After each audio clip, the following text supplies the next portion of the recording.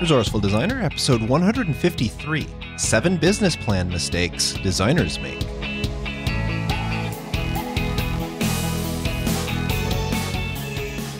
Welcome to the Resourceful Designer Podcast, offering solutions to streamline your graphic and web design business so you can get back to designing.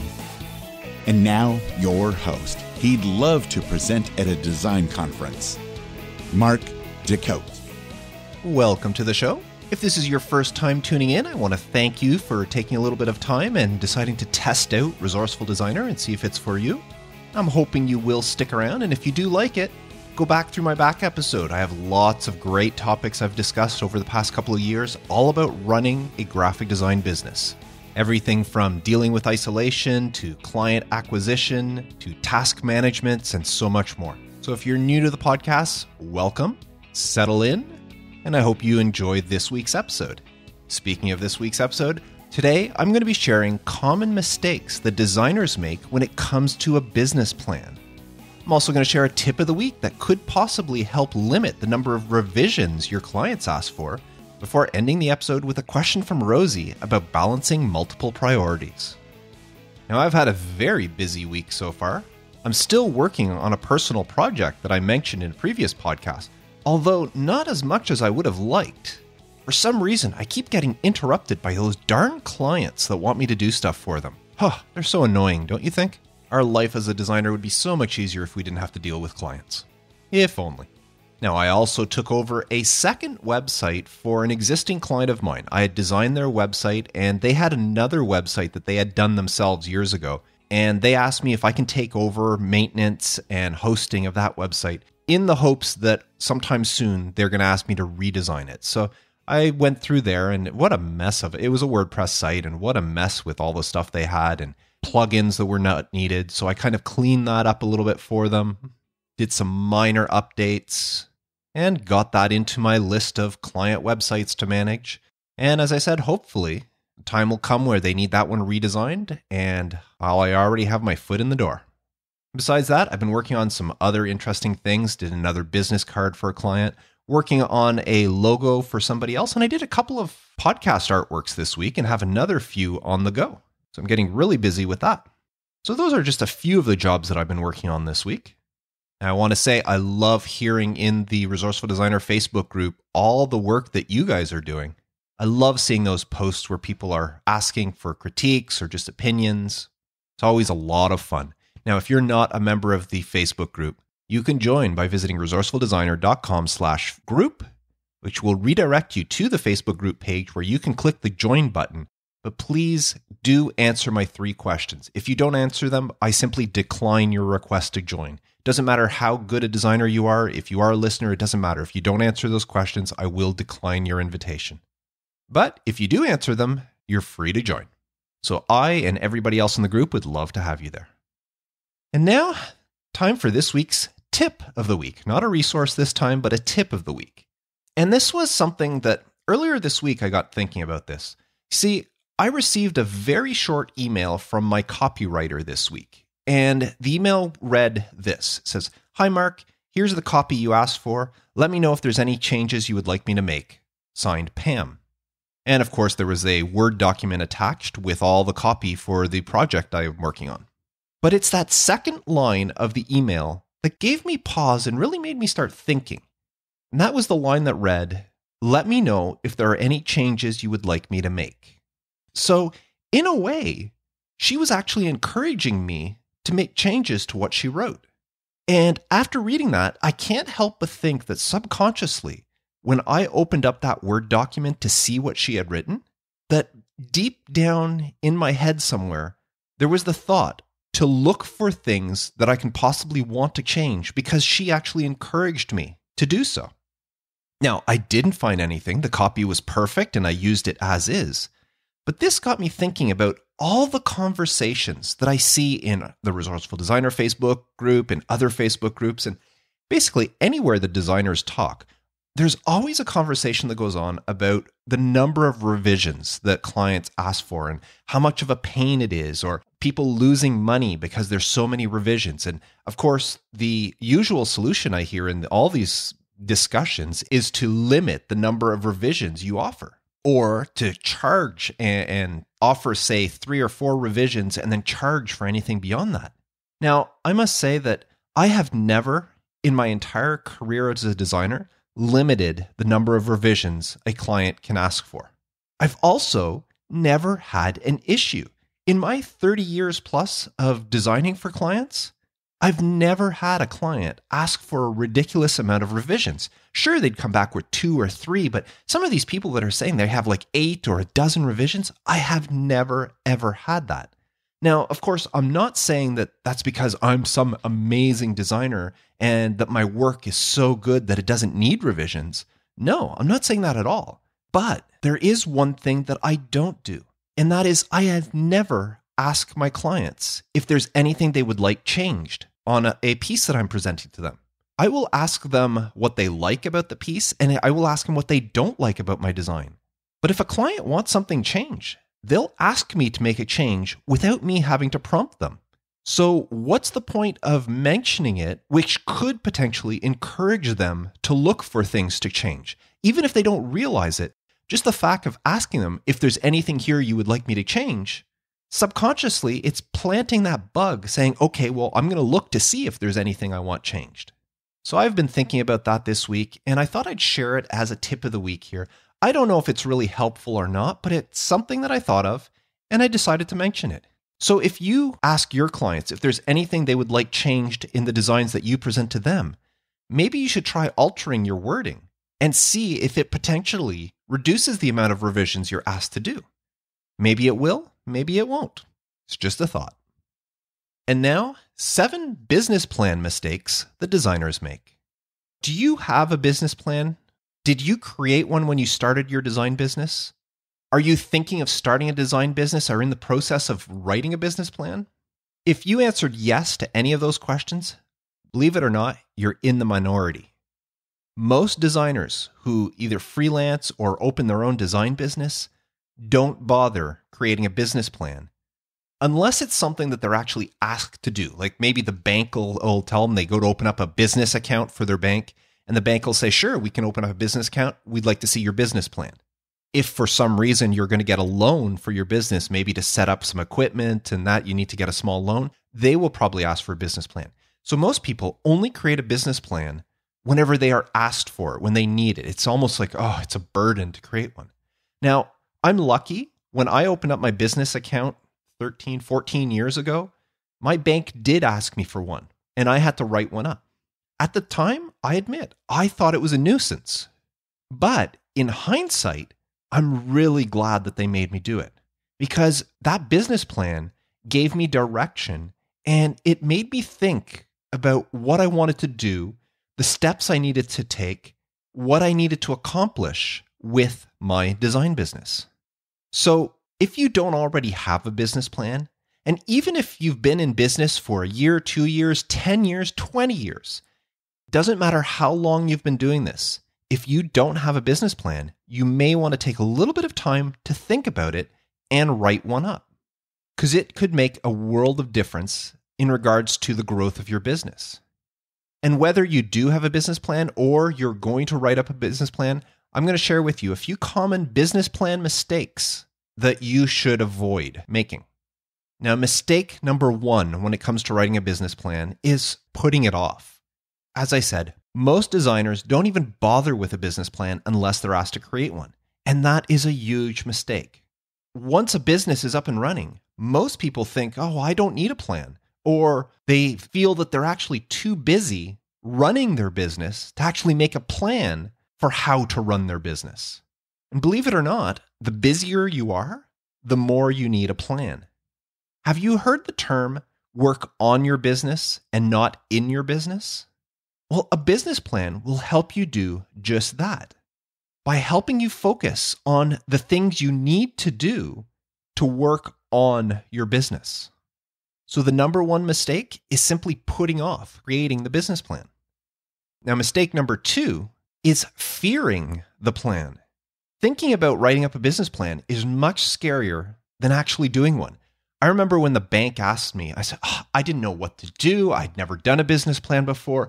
What a daunting task that was. But in reality, it wasn't that difficult. A business plan is not a thesis paper or a, novella that you're trying to write. It's a simple guide for you to follow that will help your business succeed. Yes, when the bank asks for it, it's a guide for them to see that you actually have an idea that you're going forth with. You're not just starting a business on a whim, you actually have some structure behind it. But that same business plan can be used by you in order to maintain that structure and to give you focus. Now, there are plenty of great resources online. Simply do a Google search for creating a business plan, or you can check out your local municipality. If you have a small business development center or, or some sort of municipal or government office devoted to small business, I'm sure they can help you out. You can also go to your libraries. You can check the banks. Often banks will actually have pamphlets or booklets that will explain how to write a business plan. And there's plenty of other resources that can help you write one. So there's no reason to fear writing a business plan. Now, when it comes to actually writing a business plan, another mistake that people make is ignoring cash flow. Most designers, when we think of working, we think in terms of profits and not of cash. Profits being your sales, the designs you do, the, the work you do for the clients, minus your costs and your expenses. And that makes sense. Unfortunately, you don't spend profits on a day to day basis, you spend cash. And that's where a business plan can help you out. Because when you're running a home based design business, there are plenty of things that require payment beyond the business itself. Things like utilities, things like property tax, things like home maintenance, things like savings, either for personal holidays or even for retirement. All these things are extra and they're not really considered costs or expenses, but they do eat into those profits. So, part of a good business plan involves creating a kind of a cash flow table for you to see exactly how much of your profits gets converted into actual spendable cash. Because once you say, okay, I'm going to charge a client $1,000 for this, and I had to give 200 to, I don't know, an illustrator to pay them for their illustration, and then I had to give another 300 to the copywriter to come up with some copy, and that leaves me with $500. I made $500 on this project. Well, no, there's a lot of things that eats into that $500. And without actually thinking those things through, you actually believe that you're making more money than you actually are. You are making those profits, but it's the cash flow that is not as much as you think because that extra $500 has to be distributed in a bunch of different ways. So, creating a cash flow table in your business plan can help you see where the money is allocated so that you know exactly how much money you actually have that's disposable, spendable after a project is completed. And that can really help you set goals for down the line. Now, speaking of goals, mistake number four is creating vague goals. A business plan is not about the dreams you have. You don't write a business plan saying, I want to be the best designer in my area. That stuff is all hype. There's no way for you to progress and actually measure that you're the best designer in your area. The objective of a business plan is to generate results. And for results, you need to be able to track and follow up on things. I talked about SMART goals on the podcast back in episodes 55, and just recently I talked about goals in episode 150. And SMART goals, if you if you remember what they are, are a great way to look at a business plan. In it, you should write specific dates when you'd like to accomplish things or uh, time frames. You need to write down the responsibilities, the things you need to do in order to achieve those. You need to identify the tasks that are involved. You also should put down what sort of budget, if there's some monetary, like if one of your things is to maybe get into video animation and your computer's not powerful enough, well, part of your business plan may be to somehow set aside a budget to get a more powerful computer. So, setting up some sort of budget that you allot to those responsibilities of achieving the goal is all part of a business plan. You also use it to set milestones where you can follow up and you can check on your progress against your business plan. Because no matter how well written out your business plan is, it's meaningless if it doesn't produce results. And the only way you're going to know that it produced results is if you have measurable factors in there that you can follow up and check up on your progress as time goes by. and see where you stand. So you need to create smart goals or solid direction to go, no creating vague goals. Now, mistake number five that designers often make when they do make a business plan is copying somebody else's plan. You can go online, do a Google search, and say business plan for a design business, and you will come up with some completed plans. But that's not your business. And sometimes it might be okay if you're just presenting it to the bank, hoping to get some money from them or get an account started up or whatever, but it won't actually help you and your business grow. There's no one size fits all when it comes to a business plan. Now, the resources that I mentioned earlier, such as business development centers, the libraries, the banks, they can all help direct you. But the plan itself needs to be tailored to your specific business and to your specific needs.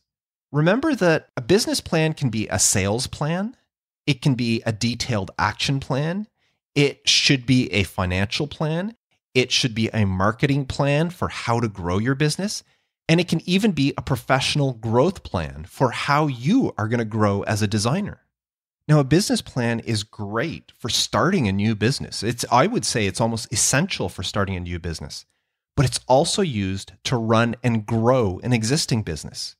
You can bet that big design agencies such as Pentagram or Landor, they not only have a business plan, but I'm sure they regularly review and revise it as their business grows. And there's no reason for you not to do the same, even though you're nowhere near as big as those agencies. A business plan is an extremely valuable asset to any business. Mistake number six that designers often make when it comes to a business plan is diluted priorities.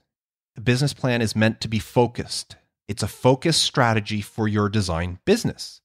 Therefore, you need to focus on the priorities in your plan.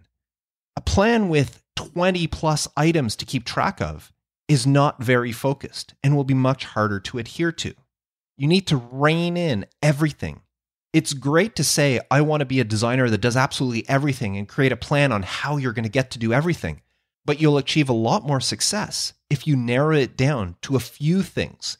And I said a business plan can be altered over time. Create a business plan focusing on a few little things, and once you accomplish those, then you can alter your plan to go over something else. Each section of your business plan should only have maybe three or four key items that you're working towards. Remember, the more items that you're focusing on, the less importance and the less attention you can devote to each one. It makes sense. It's a lot easier to accomplish three or four goals than it is to divide your time amongst accomplishing 20 plus goals. So, a short, precise business plan has a much greater chance of success than a long, diluted one. And that falls into number two that I shared a while ago fearing the plan. A lot of people think that a business plan is this huge, huge thing. It doesn't have to be. A business plan could be just a couple of pages long. And if it's done right, those couple of pages are all you need in order to set a destination and a focus for your business. Now, the final mistake that I want to share with you that designers often make when it comes to a business plan is simply not reviewing the plan. I'm hoping that I've convinced you of the importance of having a business plan. Even if your business is already established, it's a good practice to write up a plan of where do you want to be two years from now, five years from now? Do you even know? Or are you just working on a day to day? Let's get the next paycheck in. Let's get the next client on board. That's great for now, but it doesn't help you in the long run. You need to set some goals and know that five years from now, this is where I want to be. Because if you don't have those sort of things, you won't know five years from now if you are considered a success or not. Maybe you'll be doing the exact same thing you were. And if after five years you're still working the exact same way and nothing has improved or progressed, to some people, that would mean your business isn't a success because a successful business improves over time. So, mistake number seven, again, is not reviewing your plan. And that's because having a business plan isn't very helpful if you only use it to start your business. You need to review it on a regular basis and you need to make amendments to it as needed. Set reminders. I have a calendar reminder once a year on my calendar I get a reminder to go over my business plan and make sure that everything is still on board. I have in my business plan what I want to be doing from a year from now. I want have what I want to be doing 5 years from now and 10 years from now. Now, the 5 years from now is something that doesn't change very often and the 10 years very seldom. But what I want to be doing a year from now, that part of the business plan, I change that on a regular basis as I see how things go. Did I achieve what I set out last year to do by this year? If not, why didn't I? It helped me reflect. What did I do wrong or what did I do that prevented me from achieving that? Maybe at some point I decided to divert to something different and I decided to change ideas. Well, that's okay. Now I readjust my business plan and I want to review it a year from now to see where things are. Again, it all comes down to these SMART goals, but it's more than just setting a goal, it's an actual plan for your business. So once you have a plan, set a reminder to review it on at least an annual basis. And if need be, make amendments to it once per year to see how it is going forth. And doing so will help you stay focused and it'll show you the direction that you need to take to achieve success for your business going forward. As I mentioned earlier, there's no way to know if your business is successful unless there's something to measure it upon. And simply looking at how much you brought in in revenue this year compared to last year, to some people, that may be good enough. But that could be just luck, or there's so many other factors playing into it. You need to be able to measure a bunch of different key points in your business strategy that are written out in your business plan to know if your business is actually as successful as you think it is. So, those are the seven mistakes that designers often make when it comes to a business plan. Mistake number one was simply putting it off, not writing a plan. Number two was fearing the plan being overwhelmed by the thought of a plan. Number three was the financial part of it, ignoring cash flow, not realizing that the profit that you are making is not all money in your pocket. Some of that profit will be used for other stuff. And you have to know that because if you don't, you could run into cash flow problems. Number four was creating vague goals. You need to have firm ideas in place for what you want to achieve. It's the only way to measure them. Number five was simply copying somebody else's plan and using it for your own. There may be some parts of it that you can incorporate into your plan, but it should really be written specifically for you and your business in mind. Number six was diluted priorities. A business plan needs to be focused. It doesn't need to be 20, 30, 40 pages. You can have a business plan that's two or three pages long, and that's it. As long as the priorities in it are focused and stuff you can actually adhere to. So, no diluted properties. And finally, number seven was not reviewing your plan. A plan is not simply to get your bank to lend you money or to open up a bank account or, or whatever. It's there to help you grow, and you need to keep referring to it. So, hopefully, I've shared the importance and convince you, if you don't already have a business plan, to take some time to think something up. Write down some stuff. As I said, it doesn't have to be very long, just a couple of pages. How do you want to market yourself going forward? How do you want to go about acquiring clients? What do you want your business to look like one year from now, two years from now, five years from now, 10 years from now? Set some goals, set some milestones, stuff that you can actually focus on, and then review it on a regular basis. And by doing this, you have a much, and I emphasize much better chance of having a successful business. People that simply start a business and get to work day after day after day fall into that trap that I mentioned earlier of working in their business and not on their business. And working in your business, there is no end and no relief, no growth. There's nothing in sight. You need to be working on your business if you want it to succeed, if you want to be happy, if you want to be successful. And a great way to do that is by having a business plan. Now, I would love to know do you have a business plan for your design business? And when did you write it? Did you write it up beforehand or did you write it up after you had started your business? And do you adhere to it? Please let me know by leaving a comment for this episode. Visit resourcefuldesigner.com slash episode 153 and let me know. And now this week's question of the week. This week's question comes in from Rosie. Rosie wrote, How do you balance multiple priorities? It causes me a great deal of anxiety to leave things unfinished. In a perfect world, for me, I would only have one thing to do at a time and could just work from beginning to end. But that never happens. If you're working on four things at the same time and none of them are finished, that's me right now, how do you know when is the right time to stop working on one thing and pick up working on another? Well, thank you very much for the question, Rosie. This is a little bit hard to answer because everybody is a little bit different.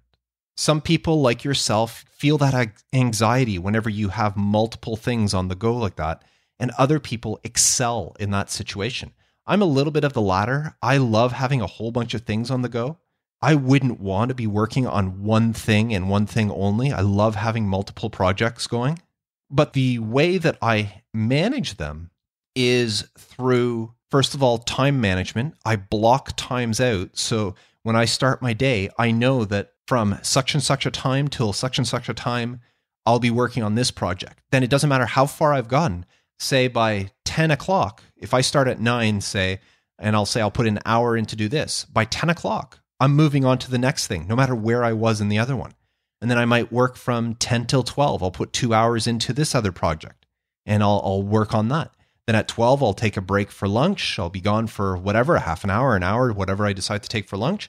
And when I come back, say at one o'clock, I know according to my schedule that I did for the day, at one o'clock, I will be working on another project. Or I might be working on one of the previous ones that I worked in the morning. Maybe I'll continue the one I was working on before lunch, but I will bracket these things off. And a little bit of progress in each one will help things get done. Now, a lot of this is determined by deadlines if I have a, a project that's due in two days and I have another project that's due in two weeks, obviously I'm going to devote more time to the one that's due in two days. But again, time blocking is a great way to do that. You actually set up, and I don't go so far as setting a timer. When I say I'll stop at 10 o'clock, sometimes it's like 1010 or sometimes it's 950 where I look up and I'll just go, okay, well, now's a good time to stop. Or, oops, I went over, so be it. Now I'll move on to the next thing. But I try to do that. I try to space things out so that, first of all, I don't want to get stagnant. If I work on the same project for a long period of time, after a while, I start losing interest. I want to change up my mindset, which helps me boost my creativity by changing things I'm thinking on. I did cover some of the stuff that you're asking about in a, a, few different episodes. I look back in episode 66 of the podcast, which was tackle your to do list with tasks and projects. That one there helps you to differentiate how to get things done. You don't just say, okay, I need to work on a poster for a client. You divide it down into smaller pieces. I need to find the fonts for the project. I need to find out what color palette I'm going to do use. I need to find the imagery that I'm going to use. And all these individual tasks will help you get through all these things because as you cross things off, you feel good about yourself. It actually releases some endorphins. And as you cross these things off your list, you are seeing visible progress towards completing the project. So listen to episode 66. Then episode 104, which titled Why Your To Do List May Be Failing, might shed some insight into that. And then just a couple of episodes ago, setting micro goals for your design business. Some of the information I shared in that episode, 150, also goes a lot into how to balance these multiple priorities that you're asking about. Now, don't forget that if it is feeling too much for you, it is okay to say no. I don't do it as much now, but back when I used to hand code my websites before I got into WordPress and I would hand code websites, I never worked on more than two websites at a time. I always waited to have one website launched and, and finished before starting on another one. And I would tell my clients as much. If they came to me with a website project, I would tell them that I only work on two at a time because I found that more than that would be overwhelming and when you're working in code all the time, working on one website and another, I, I, I just didn't want to get mixed up. Not that I ever thought I would, but to me, it was just simpler to say, I'll work on two different websites. That way I can have one in one stage and another in another. And then when one of them is complete, then I can take on another project. And my clients were okay with that. So it was putting stuff off. And at some points, if you're too busy and a client comes on and asks you to do something, it's okay to say, no, I can't handle that. My workload is too high right now. And it's up to the client whether they want to wait until your workload dies down or possibly find another designer. And that's just a risk you have to take. But if you do feel that that anxiety, if it is something that is actually affecting you when you have all these different things, you could meet with some groups and talk to people, maybe partner up with somebody that can help take some of the workload off. There are a lot of designers that I know that do have somebody that they can offload some work. So if they start to feel a little bit overwhelmed, they can get some of the smaller projects done by other people. And that has helped them and has also helped them grow their business because now they're kind of like a micro agency as opposed to just a solo designer. As for the last part of your question, Rosie, where you say, How do you know when's the right time to stop working on one thing and pick up working on another? That's really hard to decide. And that's why I use the time blocks. To me, it's just if I say I'm going to work on something for two hours, I work on it for two hours. After two hours, I'll stop wherever I am. Again, it depends. If I'm right in the middle of something, I might add in a little bit of extra time to finish that exact thing that I was doing. But once I'm done, then I'll move on to something else and pick that one up again later. But that works for me. Uh, unfortunately, I don't know if that'll work for you, Rosie. Everybody has their own little methods of working. So that's the the best advice that I can give is based on my experience. Now, if anybody listening has an answer to Rosie's question, you can leave a, a comment for this episode at resourcefuldesigner.com slash episode 153 leave a comment for Rosie and tell her how you would handle multiple unfinished jobs and how you know when to stop working on one and picking up the other, and how you deal with the anxiety of all these unfinished tasks to complete. If you have some help for Rosie, leave a comment for the episode. So thank you very much for your question. Now, if you have a question that you would like me to answer in a future episode of the podcast, please visit resourcefuldesigner.com slash feedback and submit your question there. Now, I would love your help in spreading the word about the podcast. If you know or know of a designer that you think could benefit from Resourceful Designer, please let them know about the show.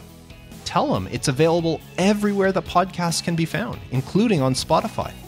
And if they're not sure how to subscribe to a podcast, chances are they know how to download an app. So tell them that Resourceful Designer is also available as an app for both Apple and Android. And once they download it, all the episodes are available within the app. So thank you everyone who has recently tuned in. If this is your first episode or if you're still a new listener to Resourceful Designer, I really do appreciate you. And if you're a long-time listener, well, I appreciate you as well. So that's it for this episode. I am Mark Des Cotes, wishing you all the best for your graphic design business. And as always, reminding you to stay creative.